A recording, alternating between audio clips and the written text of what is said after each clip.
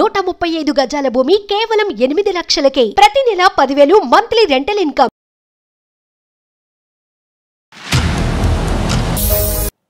నమస్తే కళ్యాణ్ గారు. Number of mails వస్తా ఉన్నాయి అందులో కొన్ని పిక్ చేసుకొని నేను మీ ముందు పెడుతున్నాను. అందులో భాగంగా ప్రకాష్ అండి. శంషాబాద్ నుంచి Hmm. ఒక అతను మనకి మెయిల్ చేశారు. Hmm. సరే నేను అతనితో అయితే మాట్లాడానండి. బట్ మీతో ఒకసారి మాట్లాడిస్తాను. మాట్లాడారా? ఈమెయిల్ ఈమెయిల్ ఒకసారి నైట్ నేను కాల్ కూడా చేశాను అనమాట. ఒకసారి మాట్లాడాను ఒకసారి మాట్లాడదాము. ప్రకాష్ ఫ్రమ్ శంషాబాద్ అండి. హలో. హలో ప్రకాష్ గారండి? ఆ, అవును ఎవరు? నేను సుమన్ టీవీ అందమైన జీవితం ప్రోగ్రామ్ నుంచి కాల్ చేస్తున్నానండి. నిన్న నైట్ మీతో మాట్లాడాను కదా? ఆ, మేడం మేడం చెప్పండి మేడం చెప్పండి. నాతో పాటు డాక్టర్ కళ్యాణ్ చక్రవర్తి గారు కూడా ఉన్నారు. ఒక్కసారి మీ సమస్యని డాక్టర్ గారితో చెప్పండి. సరేనండి? సార్ నమస్తే సార్. నమస్తే నమస్తే. చెప్పండి ప్రకాష్ ఎక్కడి నుంచి మాట్లాడుతున్నారు? మీ వయసు ఎంత? సమస్య ఏంటి? సార్ నేను శంషాబాద్ నుంచి మాట్లాడుతున్నాను అండి నా వయసు వచ్చేసి థర్టీ. సార్ మాకు రీసెంట్గా ఒక త్రీ ఇయర్స్ బ్యాక్ మ్యారేజ్ అయిందండి. సో మ్యారేజ్ అయిన ఒక వన్ ఇయర్ వరకు బానే ఉంది సార్. అంతా మేము ప్రేమగా అంతా బానే ఉంది వన్ ఇయర్ వరకు. రెండో సంవత్సరం వచ్చేసరికి ఆగస్టు నెల స్టార్టింగ్ నుంచి ఎండింగ్ వరకు సార్. అదొక ట్రాన్స్లోకి వెళ్ళిపోయింది సార్ మా వైఫ్. ఎవరితో మాట్లాడదు. భోజనం చేయదు టిఫిన్ చేయదు బెడ్ మీద ఎలా పడుకుందో అలానే పడుకొని ఉండిద్ది ఈవినింగ్ వరకు అది కాక నేను హార్డ్వేర్ షాప్ ఉందండి నాకు బిజినెస్. సో నేను డైలీ మార్నింగ్ లేస్తే షాప్కి వెళ్ళాలి. అరే నేను మార్నింగ్ షాప్కి వెళ్ళాలి అని అంటే ఒక కాఫీ లేదు టీ లేదు టిఫిన్ లేదు. బెడ్ మీద అలానే పడుకొని పోయింది అరే నాకే టిఫిన్ చేయలేదు అని అంటే ఇంకా తనేం చేసుకునిద్దిలే అని చెప్పేసి తనకు బయటికి వెళ్ళి టిఫిన్ తీసుకొని వచ్చి ఇస్తే అక్కడ టేబుల్ మీద పెట్టు తినేస్తా అనేసి ఒక మాటలో చెప్పేసిద్దండి నేను ఈవినింగ్ వచ్చేసరికి ఆ పొట్లం అలానే ఉండిద్ది తను కూడా ఆ బెడ్ మీద అలానే పడుకొని ఉండిద్ది సార్. నెలంతా ఇంతేనండి ప్రకాష్? ఆ నెలంతా ఇంతే మేడం. అసలు ఆగస్టుకి ముందు ఆగస్టు తర్వాత? మళ్ళీ ఆగస్టు తర్వాత అంతా బానే ఉండేది madam. Only one month August అయిపోయిందో లేదో అంతా బానే ఉంటుంది మేడం. మరి నేను నచ్చలేదా? నేను సరిగ్గా తనని చూసుకోవట్లేదా? తనకి ఇష్టమైనట్టు నడుచుకోవట్లేదా? నా ప్రవర్తన బాగలేదా అని అంటే సంవత్సరం అంతా అలానే ఉండాలి కదా మేడం. ఆ ఒక్క- మంత్ అలానే ఉంటుంది సార్. పోనీ వాళ్ళ అమ్మా నాన్నకు చెప్దామంటే వాళ్ళు వయసులో పెద్దవాళ్ళు. ఓకే అరే నా కూతురు అక్కడ కష్టాలు పడుతుందేమో అని వాళ్ళు ఏదన్నా ఇబ్బంది పడతారనేసి నేను అంటే ఈ ఆగస్ట్ నెలలో అడగటం కాకుండా మిగతా నెలలో ఎప్పుడైతే ఆ అమ్మాయి రికవర్ అయ్యి కొద్ది నార్మల్గా అనిపిస్తుందో ఆ టైంలో ఎప్పుడన్నా ఆవిడతో పాటు కూర్చుని అసలు ఏం జరుగుతుంది ఆగస్ట్ మంత్లో ఎందుకు ఇలా అవుతున్నావు అనేది నువ్వు ఎప్పుడన్నా అడిగితే సమాధానం? అడిగాను సార్. ఆగస్ట్ అయిపోయింది. సెప్టెంబర్లో అంతా అలా రిక రికవరీ అవుతా ఉండేది సార్. చిన్నగా నేను అడుగుతాను ఏంట్రా ఏంటి శ్రీజ? ఏమైంది? అసలు ఎందుకు అలా అవుతుంది? నీ హెల్త్ బాగాలేదా చెప్పు. అంటే ఏం లేదులే అని ఒక్క మాటలో తేల్చేసిద్దండి. ఆ ఆగస్ట్ నెలలో ఒక్కోసారి తను నిద్రలో లేచి ఏడవటం. అవి కూడా నేను చూశాను సార్. ఏంటి అని అంటే ఏం లేదు పడుకో డాక్టర్ గారు నేను ఇప్పుడు సంవత్సరంలో ఒక నెలలో లేదా కొన్ని రోజులు మూడ్ ఆఫ్ అవటం ఇలాంటివి ఏమైనా ఉంటాయండి జనరల్గా మనకి యానివర్సరీ రియాక్షన్స్ అంటారమ్మా వీటిని జరగరానటువంటి ఒక సంఘటన ఆ పర్టికులర్ టైంలో జరుగుంటే కనుక దాన్ని స్మరించుకుంటూ ఆలోచించుకుంటూ అదే ఫీల్లో వెళ్తూ ఆ మంత్ అయ్యేంత వరకు. సో ఒక డేట్కి ఒక టైంకి ఇయర్లీ అంత ఇంపార్టెన్స్ ఉంటుందన్నమాట. ఈ అమ్మాయి చెప్పకపోవటానికి కారణం ఏంటి అన్నది నేను అడుగుతున్నా ప్రకాష్. నేనన్నా ప్రకాష్? నేను అడిగాను సార్ నాకు చెప్పలేదు. కానీ ఆ ఆగస్ట్ నెలలో ఒకసారి నేను షాప్కి వెళ్ళే రోజు నాతో మాట్లాడింది సార్. వచ్చి ఏమండి నాకు ఒక పదివేలు కావాలి అనేసి అడిగింది సార్. ఎందుకు అన్నాను. అంటే నాకు కొంచెం అవసరం ఉంది అని అంది. అంటే నాకు తెలియని అవసరం నీకేముంటుంది నేను ఇంట్లో నీకు అన్ని జరుపుతూనే ఉన్నాను కదా అన్ని తీసుకొస్తూనే ఉన్నాను కదా అని అంటే లేదండి నేను ఒక వంద మందికి అన్నదానం చేయాలనుకుంటున్నాను అనేసి నాతో మాట్లాడింది సార్. నేను పోనీలే చాలా రోజుల తర్వాత నాతో మాట్లాడింది. పోనీ అదిగా చేసేది మంచి పనే కదా అన్నదానం అంటే మంచి పనే కదా అనేసి నేను పదివేలు ఇచ్చాను సార్. వంద మందికి అన్నదానం చేసిందండి. ఇంకా ఆ ఆగస్టు అయిపోయింది సార్ మళ్ళీ ఇంకా సెప్టెంబర్ నుంచి మళ్ళీ నార్మల్గా అలాగా ఆగస్టు నెలకి సంబంధించి తన కుటుంబంలో ఏదైనా ఇష్యూ మీకు ఏదైనా తెలుసా అండి? తన తన ఫ్యామిలీ తన పుట్టింటి వైపు ఏదైనా ఇష్యూ మంచి కానీ చెడు కానీ? చెడు అయితే వాళ్ళ ఫ్యామిలీ నుంచి ఏం లేదు మేడం. అంతా మేము బాగానే మాట్లాడుకుంటాము. మా అత్తగారు గాని మా మామగారు గాని అంతా బాగానే ఉంటుంది మేడం.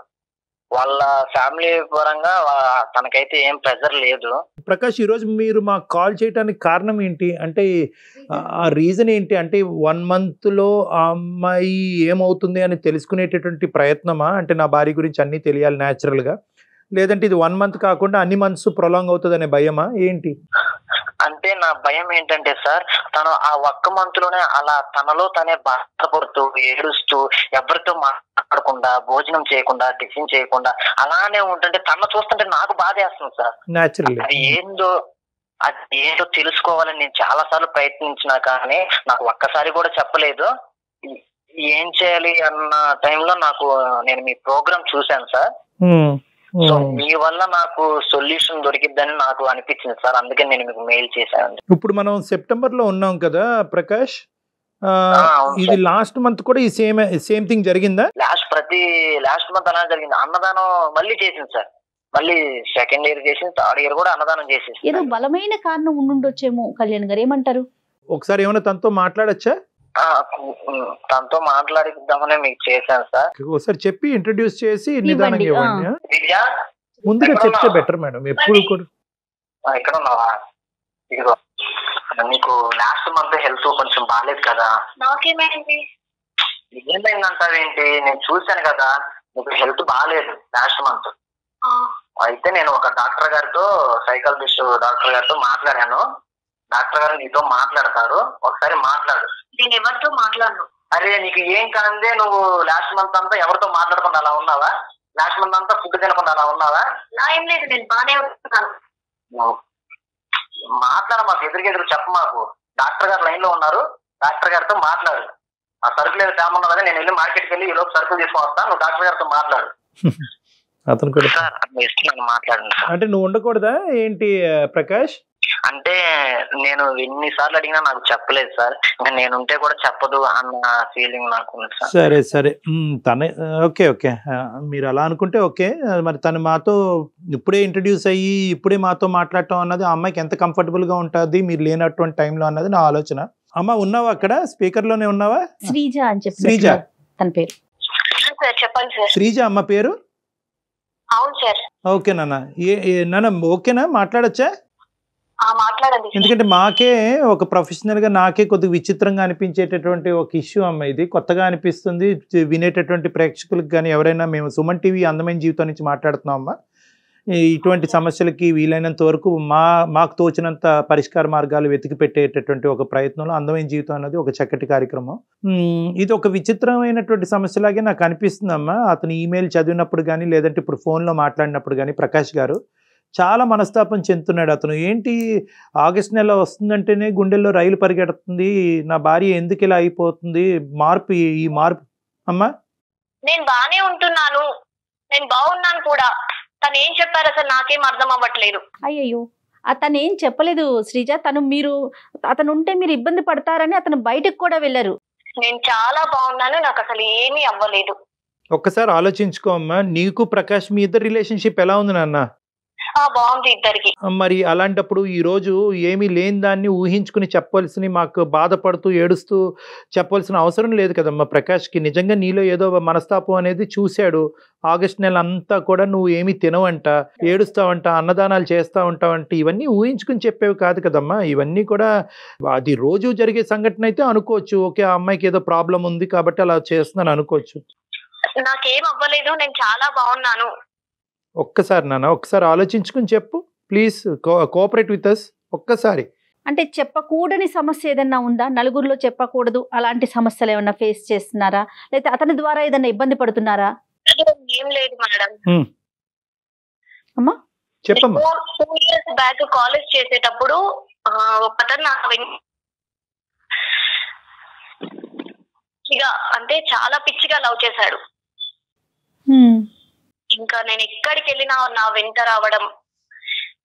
ఇంకా నా ప్రతి మూమెంట్ తనకు తెలుసు. అలాంటి ఒక పర్సన్ని ఈ రోజు నా లైఫ్లో లేదు. అంటే కోల్పోయాను.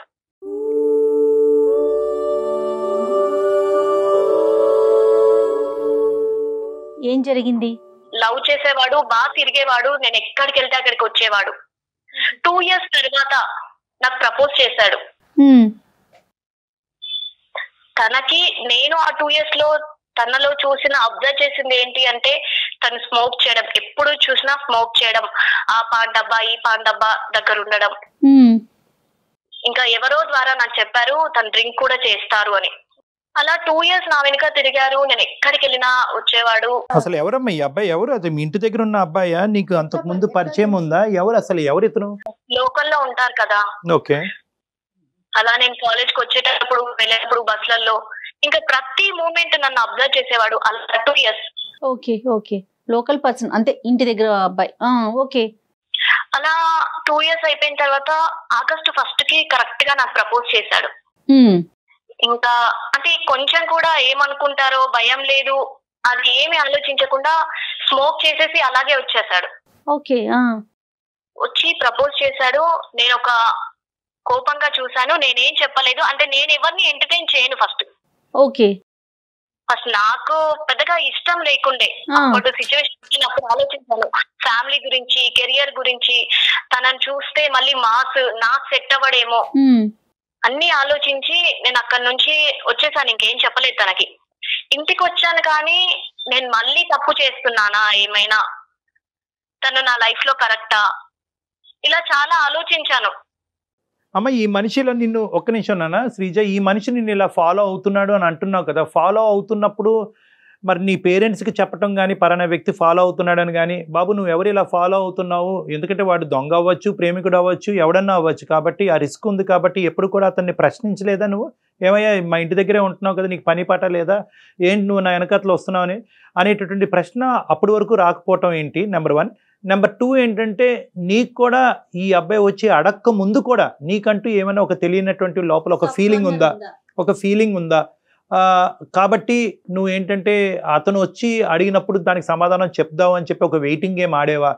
నీ లోపల నువ్వు ఏమన్నా అతని గురించి ఒక ఆలోచన అనేది కంటిన్యూస్గా ఉన్నది? కానీ ఎప్పుడైతే కనుక నువ్వు అంటున్నావు కదా అతను స్మోకింగ్ చేస్తాడని తెలిసింది డ్రింకింగ్ కూడా చేస్తాడని తెలిసింది. అంటే నువ్వు కూడా అతని గురించి ఏమన్నా తెలియకుండానే బ్యాక్గ్రౌండ్లో ఎంక్వైరీ చేసుకుంటూ ఉన్నావా? నేను ఎంక్వైరీ ఏం చేయలేదు సార్. ఎక్కడ చూసినా ఆ సిగరెట్ కొట్టుకుంటూ ఫ్రెండ్స్తో తిరిగేవాడు. ఓకే. ఒక మనిషి యొక్క క్యారెక్టర్ కానీ క్వాలిటీస్ కానీ మనం ఎప్పుడు అసెస్ చేస్తామంటే కనుక మన లోపల దాన్ని ఎంతో కొంత కన్సిడరేషన్ ఇచ్చినప్పుడే ఆ సబ్జెక్ట్ గురించి కన్సిడరేషన్ ఇచ్చి ఇవ్వాలా ఇతన్ని ఆహ్వానించాలా నా జీవితంలోకి వద్దా అని అనుకున్నప్పుడే క్వాలిటీస్ గురించి మాట్లాడుకుంటాం.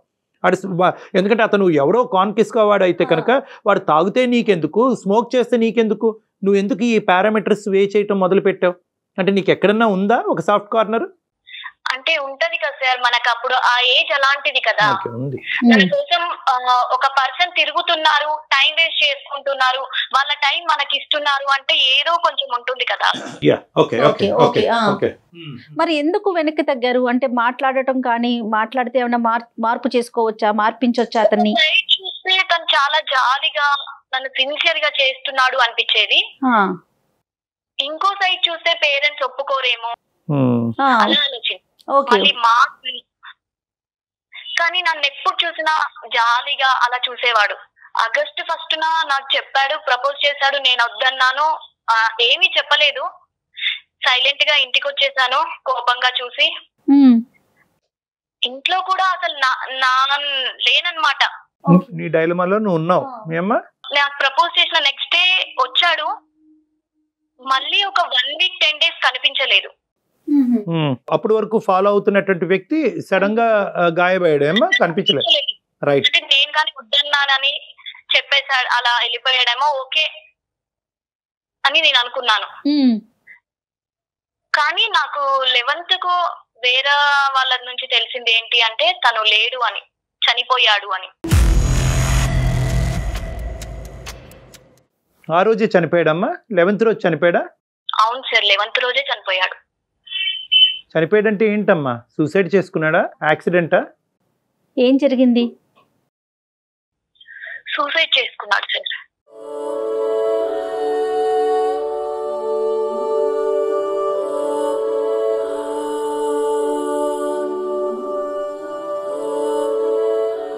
నీకు ఎవరి ద్వారా తెలిసిందన్న? తెలిసిన వాళ్ళు చెప్పారు సార్. అంటే విన్నాను. సూసైడ్ లెటర్ ఏమైనా రాశాడమ్మా? ఎవరికైనా చెప్పాడా? ఏ కారణం చేతి చనిపోతున్నాను అన్నది ఏమైనా అన్నాడా? చెప్పాడా? నీ పేరు ఎక్కడన్నా ప్రస్తావనలోకి వచ్చిందా? నా దగ్గర రాలేదు సార్.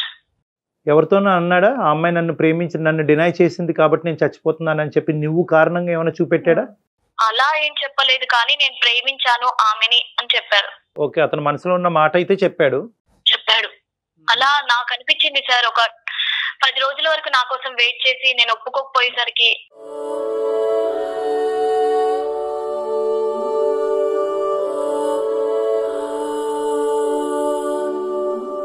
వెరీ సాడ్ అమ్మా వెరీ సాడ్. అనిపిస్తోంది అలా. అంటే తను ఆ అసోసియేషన్ తన కళ్ళల్లో ఆ అబ్బాయి కళ్ళల్లో తను చూసిందమ్మా ఇంటెన్సిటీ చూసింది. రెండు సంవత్సరాల పాటు పగలనక రాత్రనక తను ప్రేమించినటువంటి వ్యక్తి వెనకాతలు వెళుతూ కూడా ఆ అమ్మాయికి అడిగితే ప్రపోజ్ చేస్తే కనుక చాలా సందిగ్ధ పరిస్థితిలో ఉండే ఉంటాడు. ఆ అమ్మాయి నో చెప్తే కనుక బతకలేను అనేటటువంటిది ముందే డిసైడ్ చేసుకుంటాడు. కాబట్టి చాలా సంకోచిస్తూ ఎక్కడో ఒక విధంగా వచ్చి చెప్పుంటాడు. ఈ అమ్మాయి వర్బల్ కూడా చెప్పలేదు. ఈ అమ్మాయి ఏంటంటే ఏమరా నువ్వు నీకు పని పాట లేదా? ఏమి? అని ఏమనుకుంటే జస్ట్ ఒక్క ఇమోషనల్ రియాక్షన్కే అతను ప్రాణాలు తీసుకున్నాడు. సిన్సియర్గా అతను ఇష్టపడ్డాడు ఈ పిల్లని ఈ. అమ్మాయిని. అంతే కదండి. ప్రేమలో అయితే సిన్సియారిటీ ఉందమ్మా. అతను ప్రొఫెషనల్గా ఏం చేస్తున్నాడు తాగుతాడా అలవాట్లు ఏంటి దేనికి బానిసేయడం అనే వేరే విషయం కానీ ప్రేమలో మాత్రం అయితే సిన్సియారిటీ ఏమ్మా శ్రీజ కరెక్టేనా నేను అనే మాటలు? చాలా సార్ కరెక్ట్గా చెప్పారు. మనసే చాలా బాధగా భారంగా అనిపిస్తోంది. కళ్ళల్లో తెలిసిపోయేది.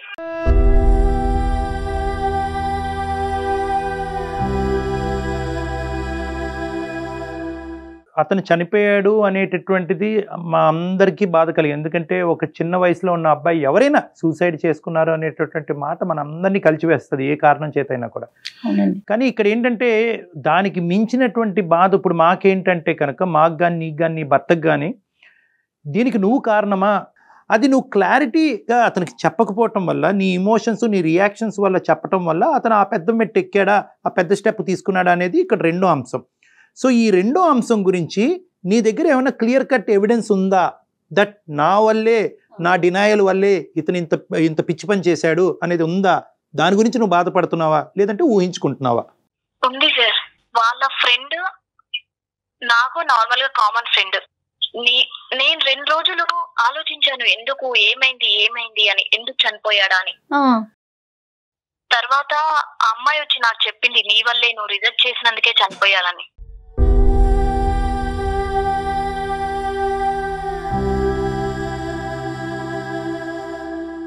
అంటే ఎప్పుడైనా కూడా అమ్మాయితో ఇలాగ నేను నేను శ్రీజాని ప్రేమిస్తున్నాను శ్రీజ ఒప్పుకుంటే బతుకుతాను లేదంటే నా జీవితాన్ని అంతం చేసుకుంటాను అన్న మాట ఎప్పుడన్నా వచ్చిందా ప్రస్తావనలోకమ్మా?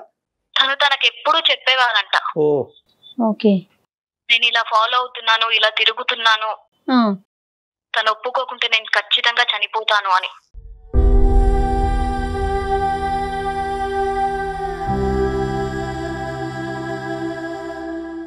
చెప్పాడు మరి ఎందుకమ్మా నీ దగ్గర వరకు వచ్చి ముందుగానే ధైర్యంగా నీకు చెప్పడానికి ఎందుకు సంకోచించాడు ఇన్ని ఇయర్స్ బట్టి? సార్ ఇప్పుడు మనం ఎవరినన్నా ఎంటర్టైన్ చేస్తేనే కదా వాళ్ళు అవుతారు. కరెక్ట్ అమ్మా కరెక్ట్. హండ్రెడ్ పర్సెంట్ అంటే నా ఫేస్ నా చూపులు అలా స్ట్రిక్ట్ గానే ఉండేవి. నేను కామ్గా ఉన్నాను. అంటే నా చూపుకు తను భయపడేవాడు. ఓకే ఓకే అందుకొరకే తను నా దగ్గరికి రాలేడేమో. బహుశా. సో అతను చనిపోయాడు అనే వార్త కంటే నీ వల్లే చనిపోయాడు అన్న వార్త ఎక్కువ బాధ పెట్టింది కదమ్మా నిన్ను? అవును సార్. నేను ఒక పర్సన్ని చంపేశాను అనిపిస్తుంది.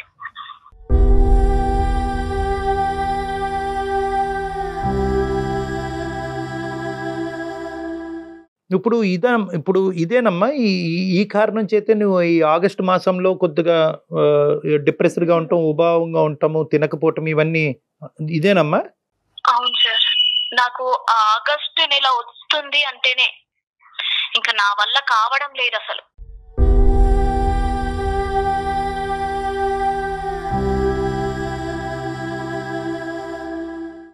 మన ప్రకాష్తో నీ రిలేషన్షిప్ అంత అద్భుతంగా ఉన్నప్పుడు బాగున్నప్పుడు షేర్ షేర్ చేసుకుంటే? బాగా తగ్గుతుంది కదమ్మా ఎవరికైనా. ఇది నీ పేరె నీ పేరెంట్స్కి చెప్పలేవు ఆ, నీ ఫ్రెండ్స్కి ఎవరికి చెప్పలేవు. పెళ్ళైనటువంటి అమ్మాయి ఇలా ఆలోచిస్తున్నావు ఏంటని సమాజం రకరకాలుగా మాట్లాడుకుంటుంది. సో కానీ అర్థం చేసుకునే భర్త ఉన్నప్పుడు నువ్వు ఎందుకు ఇలా అవుతున్నావు? అని చెప్పి అతను పిచ్చోడు అవుతున్నప్పుడు నువ్వు చెప్పొచ్చుగా? చెప్పచ్చు మేడం. కానీ ఎలా చెప్తాను నేను. పర్సనే లేడు కదా అక్కడ. ఇంకా తనకు చెప్పి తనని బాధ పెట్టలేను కదా. కరెక్టే కానీ మీరు బాధపడుతుంటే అతను కూడా బాధపడుతున్నాడు కదా. శ్రీజ ఇప్పుడు అతను బాధపడబట్టే కదా మా దాకా తీసుకొచ్చారు ఇష్యూని. కానీ ఆగస్టు నెల వస్తే మేడం నాతో అవ్వట్లేదు మరి. నేను ఎంత కంట్రోల్ చేసుకున్నా. అంటే ఎవరికి చెప్పినా కూడా ఇంకా ఈ సమస్యకి పరిష్కారం లేదు పోయిన మనిషి తిరిగి రాడనే ఫీలింగ్ అమ్మా? పోయిన మనిషి అంటే నా వల్ల పోయాడు అన్న బాధ ఎక్కువ ఉంది సార్. చూసావమ్మా ఈ మధ్యకాలంలో వాళ్ళ పేరెంట్స్ని కానీ ఆ ఇంటి వైపు వెళ్ళటం కానీ ఎప్పుడైనా జరిగిందా? నువ్వు ఊరు వెళ్ళినప్పుడు పేరెంట్స్ అదేమీ తెలియదు సార్. అసలు ఈ అమ్మాయికి డీటెయిల్స్ ఏం తెలియదు అతను ఫాలో అవటం మాత్రమే తెలుసు. అంతేనండి? దీన్ని యానివర్సరీ రియాక్షన్ అంటారమ్మా. అంటే మనకి మనకి కావాల్సిన వాళ్ళు మనం ప్రేమించిన వాళ్ళు మనకు నచ్చినటువంటి వాళ్ళు చనిపోయినప్పుడు ఏ సంవత్సరం ఏ రోజు సంవత్సరికం అంటూ ఉంటాం మనం సాంప్రదాయబద్ధంగా. ఆ రోజు అవే ఇమోషన్స్ వాళ్ళు గుర్తుకు రావటం కానీ అరే నేను హాస్పిటల్కి టైం తీసుకెళ్ళవలసింది లేదంటే ఈ టాబ్లెట్ ఇవ్వాల్సింది ఇలాగ గిల్ట్ ఫీలింగ్స్ అనమాట అంటే దానికి నేనే ఎలా ఎంత న్యాచురల్గా చనిపోయినటువంటి వ్యక్తికైనా కూడా ఈ గిల్ట్ ఫీలింగ్స్ వస్తూ ఉంటాయి అనమాట అంటే కొడుక్కి కానీ భార్య కానీ నేను ఏదో. చేయవలసింది అనేటువంటి that's a process of grief reaction అంటే ఆ గ్రీఫ్ రియాక్షన్ నుంచి మనం అందరం వెళ్తాం. అన్నిటికంటే విలువైనటువంటిది ఒక మనిషి యొక్క ప్రాణం. ఈ నీ ఇష్యూలో ఆ గిల్ట్ ఫీలింగ్ అనేటటువంటిది ఇంకా ఎక్కువ ఎందుకు ఉంది అంటే కనుక ఇక్కడ ఇక్కడ కమ్యూనికేషన్లో ప్రాబ్లం వచ్చింది. ఆ అబ్బాయి నీతో నిన్ను ప్రేమిస్తున్నట్టు ఎంతకాలం బట్టి ప్రేమిస్తున్నట్టు ఎందుకు ప్రేమిస్తున్నట్టు అతను పంచప్రాణాలుగా ప్రేమిస్తున్నట్టు అతని మనసులో ఉండేటటువంటి భావాన్ని అతని యాక్షన్స్లో చూపెట్టాడు కానీ ఎక్కడ నీకు వర్డ్స్లో చూపెట్టలేదు. సో అక్కడ ఒక కమ్యూనికేషన్ గ్యాప్ వచ్చింది. రెండో కమ్యూనికేషన్ గ్యాప్ ఏంటంటే నీకు ఈ మనిషి ప్రేమిస్తున్నట్టు నీకు తెలుసు. కానీ నువ్వు సాంప్రదాయాలకో పట్టింపులకో తల్లిదండ్రుల విలువలకో ఇటువంటి వాటికి విలువని ఇచ్చిన దానివి కాబట్టి నీ పద్ధతిని కాపాడుకుంటూ ఆ మనిషిని డినై చేస్తూ ఆ మనిషి వైపు కోపంగా చూపెడుతూ నువ్వు నీ మెసేజ్ను కూడా అతనికి ఎక్కడ కమ్యూనికేట్ చేయలేదు. బహుశా ఈ రోజు కాకపోతే రేపైనా ఆ అమ్మాయి ఒక పాజిటివ్ రెస్పాన్స్ ఇస్తుంది అనేటటువంటి ఒక ఆశతో అదే ప్రాసెస్ కంటిన్యూ చేశాడు. ఒకటి కాదు రెండు రోజులు కాదు వారాలు కాదు నెలలు కాదు రెండు సంవత్సరాలు. సో చాలా ఇంటెన్స్గా నిన్ను ప్రేమిస్తున్నాడు అని చెప్పినప్పుడు నీ సైడ్ నుంచి కమ్యూనికేషన్ కూడా ఇక్కడ లోపం వచ్చింది. ఏం బాబు? నువ్వు ఇలా నా వెంట పడుతున్నావు నువ్వు టైం వేస్ట్ చేసుకుంటున్నావు మా ఇంట్లో ఇలాంటివి ఉండవు. ఎందుకంటే నీకు తెలుసు. ఎందుకంటే నువ్వు కూడా ఎక్కడో ఒక పాయింట్లో you are weighing the pros and cons వెళ్ళాలా? వెళ్ళకూడదా? వర్కౌట్ అవుతుందా? అవదా ప్రేమించి పెళ్ళి చేసుకుంటే సమస్యలు పెరుగుతాయి తగ్గుతాయని నువ్వు వర్కౌట్ చేసుకుంటున్నావు. ఆ కంక్లూజన్ని నువ్వు మానసికంగా నీ లోపల పెట్టుకున్నావు అతనికి వ్యక్తపరచలేదు. సో ఇక్కడ కమ్యూనికేషన్ గ్యాప్ వచ్చింది. ఏమయ్యా ఇది వర్కౌట్ అవ్వదు. నాకు తెలుసు నువ్వు నా వెంట పెడుతున్నావు అంటే కనుక నువ్వు గాఢంగా నన్ను ప్రేమిస్తున్నావు అని నాకు తెలుసు. మన ప్రేమ వల్ల నలుగురికి కష్టాలు కొని తెచ్చే వాళ్ళం అవుతాం కానీ ఆ ప్రేమ వల్ల ఎవరిని సుఖపెట్టలేము మనం కూడా సుఖపెడతామని నమ్మకం నాకు లేదు అనేది ఒకటి క్లియర్ కట్గా అతనికి చెప్పుంటే కనుక నువ్వు వర్క్ మీద ఫోకస్ చేయి నీ జీవితం మీద ఫోకస్ చేయి నిన్ను నిన్ను ప్రేమించే అమ్మాయిని నువ్వు పెళ్ళి చేసుకో అనే విధంగా ఏదైనా ఒక మెసేజ్ పంపించుంటే కనుక బహుశా ఈ రోజు అతను ఉండుండేవాడేమో. ఏమో at the end of the day అతను ఏం చేసుకుంటాడన్నది ఎవరు అట్లీస్ట్ ఆలోచించేవాడేమో. అట్లీస్ట్ ఆలోచించేవాడు. కానీ ఇక్కడ ఏమైంది అంటే కనుక నువ్వు అంతా కూడా కట్ త్రోట్గా ఉంది ఇదంతా కూడా టక్ టక్ టక్ టక్ అని చెప్పి. సో దీనివల్ల ఏమైందంటే కనుక నీకు నేనే అతన్ని చంపేశాను అనేటటువంటి బాధ నీకు ఉంది ఇంకోటి ఏంటంటే కనుక బహుశా నేను అతనికి రెస్పాండ్ అయ్యి పెళ్ళి చేసుకుంటే కనుక ఒక ప్రాణాన్ని కాపాడేదాన్ని అవుతాను అనేటటువంటి ఫీలింగ్ నీకు వస్తుంది. ఇవన్నీ కూడా గిల్ట్లో వచ్చేటటువంటి ఆలోచనలే కానీ వాస్తవానికి దూరంగా ఉండే ఆలోచనలమ్మా. ఈ గిల్ట్లో మనకు అలా అనిపిస్తూ ఉంటుంది. అరే నేను ఎస్ అని చెప్పుంటే కనుక మనిషిని బతికించేవాడినేమో. ఏమో ఎస్ అని చెప్పి పెళ్ళి చేసుకుంటే కనుక మీ తల్లిదండ్రులకి ఏమై ఉండేదో మీ కుటుంబ సభ్యులకి ఏమి ఉండేదో దాని కాన్సిక్వెన్సెస్ ఎలా ఉండేవో. సో ఇలాంటి రకరకాలు ఈరోజు మాట్లాడుకోవటానికి లేదు. నువ్వు ఎక్కువగా ఏంటంటే రియాలిటీ కంటే ఇమాజినేషన్కి ఊహాజనకమైనటువంటి ఆలోచనలకి ఎక్కువ ఇస్తున్నావు ఇక్కడ. అతన్ని నువ్వు కాపాడేటటువంటి అవకాశం లేదు. ఏమో కమ్యూనికేట్ చేస్తుంటే కనుక అతని బాధను తగ్గించేదానివేమో కానీ చనిపోవాలనే బలమైనటువంటి నిర్ణయాన్ని మీ ఫ్రెండ్కి ఆల్రెడీ చెప్పినప్పుడు నువ్వు చెప్పినా అతను కాపాడలేకపోయి ఉండొచ్చు.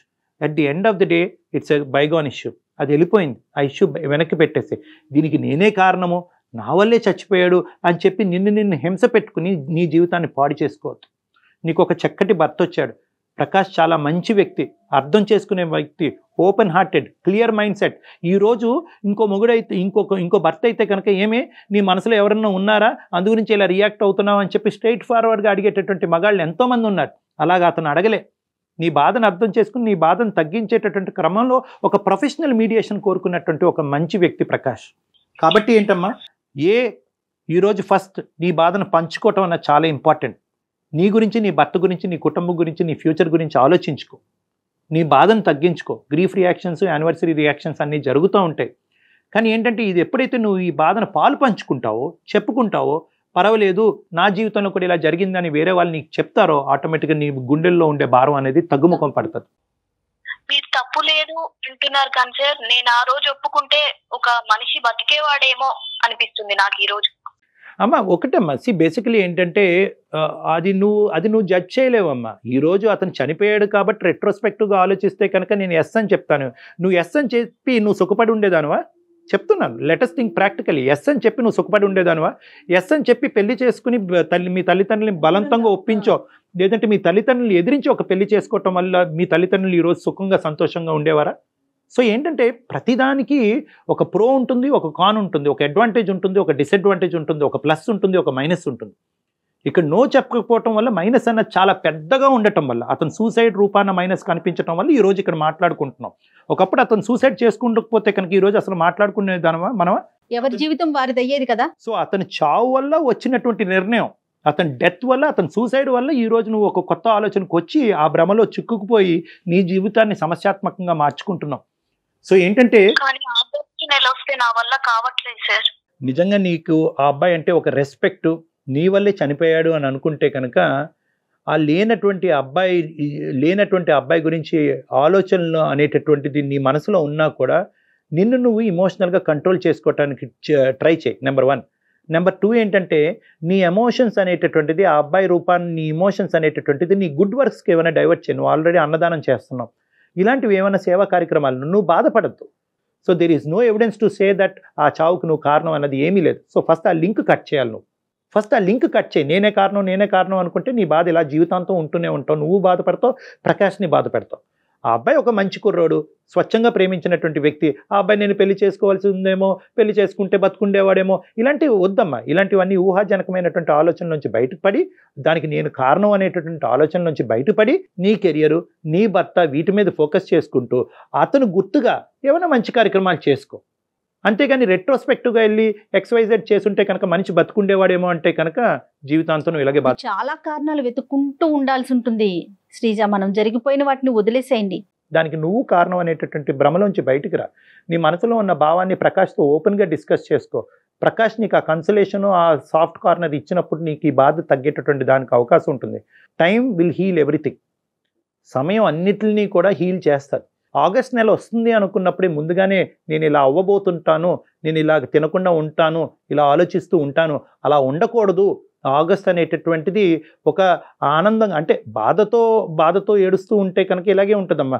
అతన్ని స్మరించుకుంటూ మంచి కార్యక్రమాలకు వాడుకోవాలి కానీ నన్ను నేను మానసికంగా హింస పెట్టుకోకూడదు అన్నది ముందుగానే జూలైలోనే ప్రిపేర్ అయ్యి ఆగస్ట్ మంత్ అంతా కూడా నిన్ను సెల్ఫ్ కంట్రోల్ చేసుకోవటం అన్నది ఇంపార్టెంట్. లేదు మీరు చెప్పడానికి ఇబ్బంది పడుతుంటే కనుక అవకాశం ఉంటే సిటీలోనే ఉన్నారు కాబట్టి ఒకసారి డాక్టర్ గారిని వచ్చి కలవండి. మీరును ప్రకాష్ గారు కలిసి. ఇలా బాధపడుతున్నాను కాబట్టి ఖచ్చితంగా ఒక సైకాలజిస్ట్లో ఎవరినో కలిసి మాట్లాడుకోవాలి. ఈ బాధను తగ్గించుకోవాలి. నీ నీ జాబ్ మేము కొంతవరకు ఈజీ చేస్తామమ్మా. మేము ప్రకాష్కి చెప్పే విధంగా చెప్పేటటువంటి భాషలో మేము అతను కమ్యూనికేట్ చేస్తాము. అతను మనస్తాపం చెందకుండా సెన్సిటివ్గా ఫీల్ అవ్వకుండా. సో అప్పుడు ఏంటంటే నీ జాబ్ ఈజీ అవుతుంది. అప్పుడు మీరిద్దరు ఒకసారి డిస్కస్ చేసుకుని నన్ను వచ్చి పర్సనల్గా కలవండి ఇట్స్ బెటర్ ఇలాంటి కేసెస్లో ఇటువంటి సీరియస్ కేసెస్లో it's always better that one point of counselling అనేది పనికిరాదు. Over a period of time నేను మీ ఇద్దరితో మాట్లాడవలసినటువంటి అవసరం ఉంటుంది ప్రత్యేకంగా మీతో. Yes. ఓకే శ్రీజ. ఓకేనా హ్యాపీగా ఉండండి. Thank you. Okay, right. Nana. All the best, Thank Nana. God bless. Take